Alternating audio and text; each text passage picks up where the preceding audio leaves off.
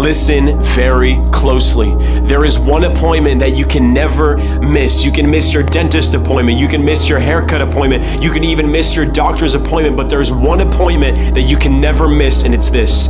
The Bible says it is appointed unto men to die, and after this, the judgment. Yes, death is an appointment, and this is one that you cannot skip. Friend, how amazing would it be to know when your death appointment is? You can live in sin your whole life, and right before you die, you could ask Jesus to come and live inside of your heart. But, friend, you do not have that luxury, and time is running out. You will have this appointment. You will stand before a holy God, and you'll be judged for this. God loved the world, so He sent Jesus. He lived a perfect life. He died a brutal death on the cross. He was buried, and He rose from the dead, and He's coming back, and you'll be judged on this.